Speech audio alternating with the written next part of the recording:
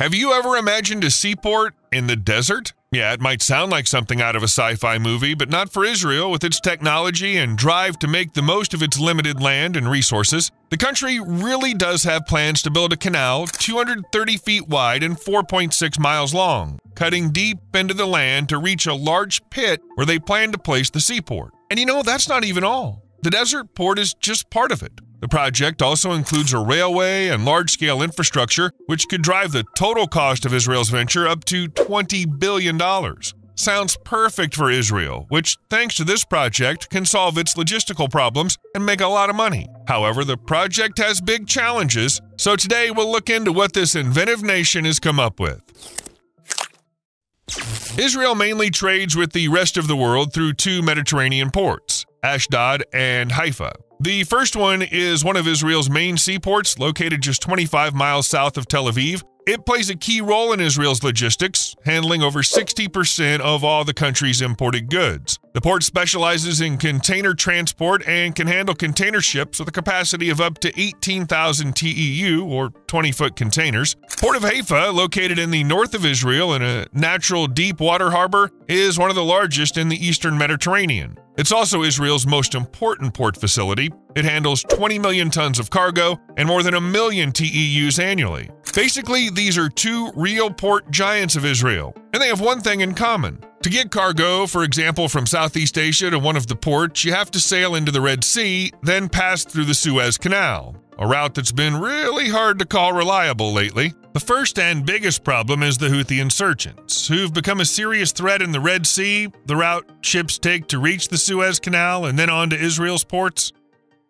They've forced many major shipping companies, including Maersk and Hapag-Lloyd, to completely change their routes. This means vessels now go around Africa via the Cape of Good Hope, adding about 10 to 14 days to the journey and pushing up fuel costs by as much as a million dollars per ship. According to estimates from November to March 2023, about 2,000 ships changed their routes, which drove freight costs up by 300% on some routes. This creates huge uncertainty in global supply chains, since disruptions in one region can trigger a ripple effect worldwide, including higher consumer prices. According to the data from December 2023 to January 2024, shipping traffic through the Suez Canal dropped by a whopping 42%. In other words, almost half of all cargo never even made it to its final destination. Naturally, a good chunk of the vessels going through the Suez Canal are shipments from Israel and to Israel, so the country took a really hard hit. Another, no less serious problem is the accidents and incidents happening right in the canal itself. One of the most famous examples is the Ever Given incident in 2021. For six days of obstruction, 422 ships carrying cargo worth $9.6 billion a day couldn't pass through the canal, causing massive losses for the global economy. The situation proved how quickly and severely trade can be thrown off. However, it was by no means the only one, and not even the scariest in its aftermath. In 1967, as a result of the Six Day War, the canal was shut down for a full eight years. This period was a massive blow to the global economy and forced ship owners to look for alternative routes and switch to supertankers capable of sailing around Africa, which changed logistics forever. So, even in peacetime, any accident, whether caused by strong winds, a sandstorm, or human error, can have disastrous consequences. Yes, the Suez Canal is constantly undergoing upgrades that are supposed to fix existing issues, but it's unlikely that this will fully protect against a possible accident that blocks the route. Basically, the Suez Canal for Israel isn't about steady maritime transport. It's about always expecting some problem that could make trade more expensive or stop it altogether. However, the country has another port, Eilat. It's not in the perfect spot because cargo still has to go through the Red Sea, but container ships and other vessels don't have to go through the Suez Canal. So that's at least one less headache. You'd think it's perfect, but there's a reason that Eilat hasn't replaced the Mediterranean ports yet. Look, for example, in 2018, the port of Haifa handled 1.46 million TEU. At the same time, the maximum capacity of the port of Eilat is estimated at around 50,000 TEU, almost 30 times less. Maybe they could expand the southern facility to handle more? The Port of Eilat is located on a really tiny piece of land, so fitting in the port infrastructure was already a challenge. At the same time, the city's a symbol of Israeli tourism, so a lot of space is taken up by the related infrastructure. They'd have to tear down hotels, clear and reshape the beaches, remove other tourist facilities. The result, a loss of money and maybe even the reputation of Israel's tourist capital, and that's only if we're talking about taking down the infrastructure. Hardly anyone would actually enjoy lying on the beach right next to a huge container ship that, well, maybe blocks the sun. Because of all the problems mentioned, the idea came up to move the Eilat port, which means nothing would need to be done with the existing tourist infrastructure, and it could even be expanded further. Yes, we're talking about moving the port inland. The project got its name from what the port is meant to be Southern Gateway. The key engineering element of the project is the construction of a new port, which is supposed to be inland, to the north of the existing one, in a desert area.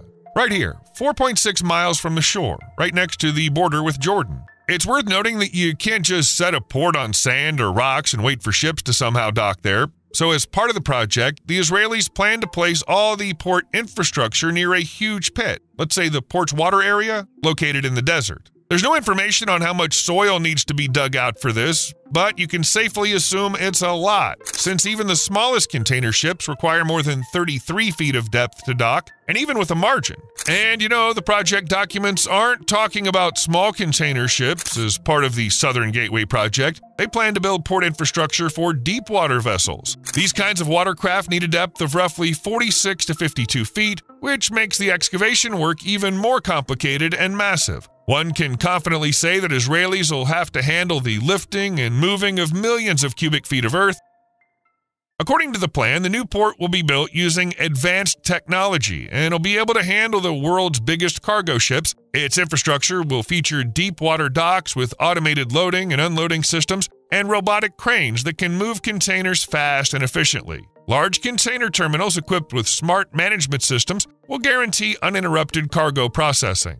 Around the new port, as planned in the Southern Gateway project, there's supposed to be a large industrial and logistics area with warehouses, customs points, distribution centers, and processing plants. You could say it's a whole logistics city right next to the port, which is really convenient and efficient for logistics. The goods arrive, get unloaded and processed, and then move on to another point in Israel. Yes, ships will be able to dock at the port, and as they say, even deep water ones, but how will they get there? For that, the Israelis plan to build a canal 4.6 miles long and 230 feet wide, which will also run close to the border with Jordan. Building such a hydraulic structure in the desert area is an extremely challenging engineering task. The project will require a massive amount of earthworks to excavate the soil, as well as the construction of strong shoreline structures capable of withstanding the effects of seawater and erosion. Engineers will need to design a system that can maintain the necessary depth and width for the largest container ships to pass through, while, of course, minimizing environmental risks.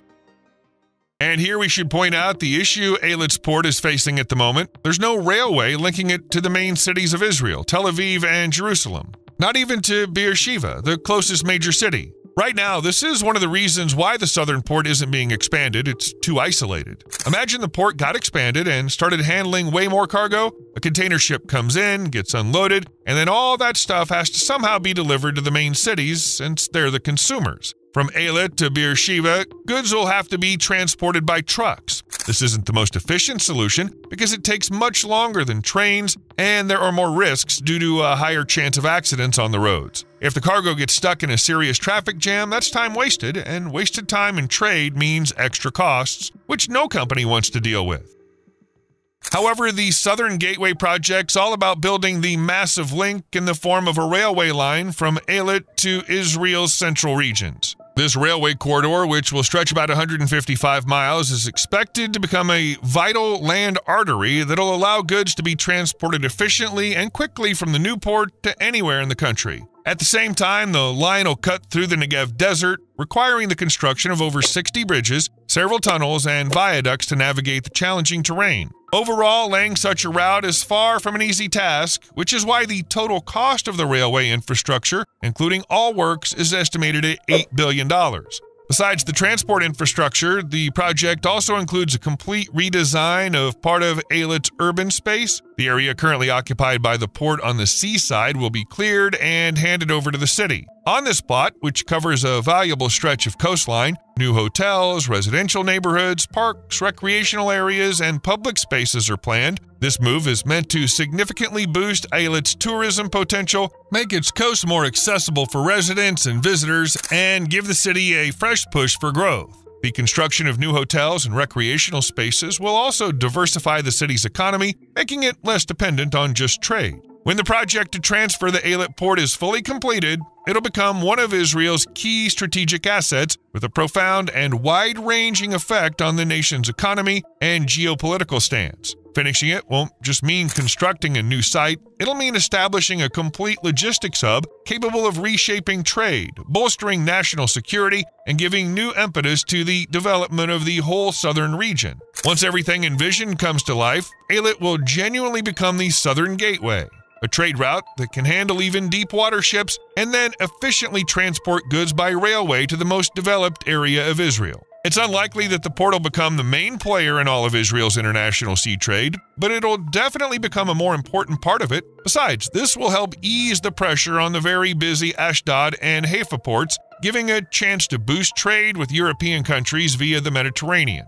And of course, if the Southern Gate project gets off the ground, maritime trade with all the countries that ship to Israel or receive goods from it via the Red Sea and the Suez Canal will become safer. The thing is, thanks to moving the port and the railway infrastructure, it won't be necessary to go through that very canal, which is constantly at risk of some incident that slows down cargo flows. Most likely, this will even increase cargo traffic to and from Israel, which will both improve the country's supply of resources and generate profits from selling goods. Besides that, construction, especially on such a large scale, creates a ton of jobs. Moreover, once the Southern Gateway project is finished, all the built infrastructure will also need a huge number of workers. The port has to run, the canal needs maintenance, the railway too. Basically, it's going to need a lot of workforce, and that will definitely be good for Israel as a whole and for Eilat in particular. Let's not forget about Eilat's tourism, which should boom once the port is moved from its current spot so, if the city is already Israel's tourism capital, the Southern Gateway project will only strengthen that status. Naturally, this will attract more tourists, which means Eilat will make more money from this sector.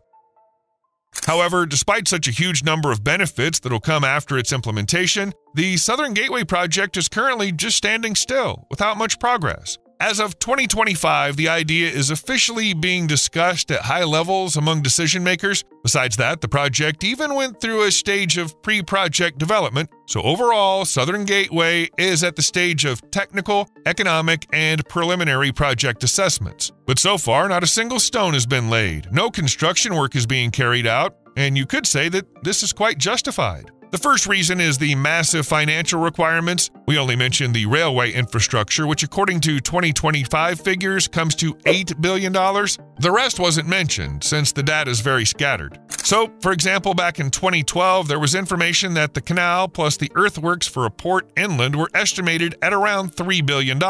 Now that price could be much higher. According to some sources, all the earthworks and other construction for the port and canal could reach $10 billion. Add to that the logistics and industrial zone around it and a bunch of other costs, and you end up with a total of 15 to 20 billion dollars. And this isn't China, it's Israel, which has a much smaller budget for building such mega projects, but it's not just about that. First off, even in the relocated port of Eilat, trading ships will still have to sail through the Red Sea. In that sense, nothing changes compared to what we have now.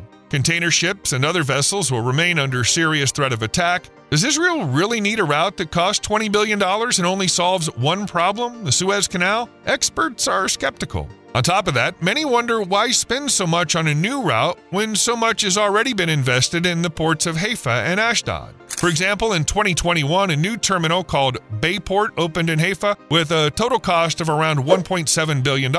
At the same time, in 2022 to 2023, it was announced that roughly another $288 million would be spent on further port upgrades. As for Ashdod, there's info now that between 650 and 700 million dollars is set aside for upgrading the docks and equipment, so a lot of money has already been spent. Plus all these improvement plans. It definitely raises questions about whether yet another very expensive project makes sense, especially since it won't fix all the problems.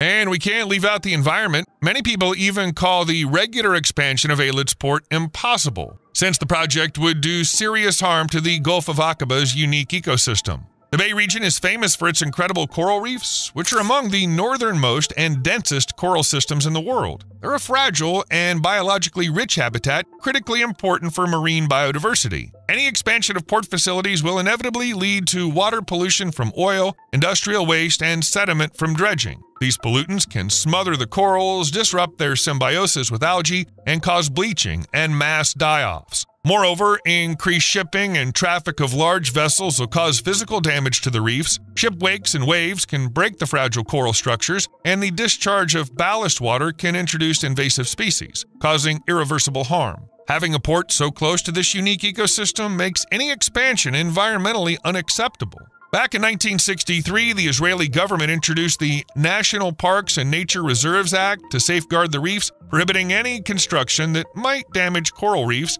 including in the Gulf of Aqaba. While this act doesn't fully rule out development, it certainly makes it harder. Here we're talking about work that's way more massive than a typical port expansion, so you could say the damage to nature could be huge. To prove otherwise, the project will have to spend extra money on different environmental tests, inspections, and sorting out bureaucracy. Most likely, people behind the project will also have to pay numerous compensations, negotiate with conservation groups, and with ordinary people who clearly care about the bay's nature. Simply put, the price, already high, could go even higher. Overall, if the project ever gets off the ground, it'll only happen by overcoming some serious hurdles. Still, there's hope because it does promise some really big benefits.